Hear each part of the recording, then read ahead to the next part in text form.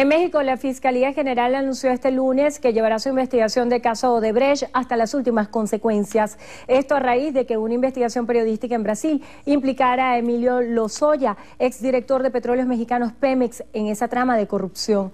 Así lo señaló la Procuraduría General Mexicana en un comunicado y un reportaje periodístico del diario O Globo destapó este domingo que la constructora Odebrecht habría pagado al exfuncionario hasta 10 millones de dólares en sobornos para que la firma ganara una licitación valorada en 115 millones de dólares para remodelar una refinería.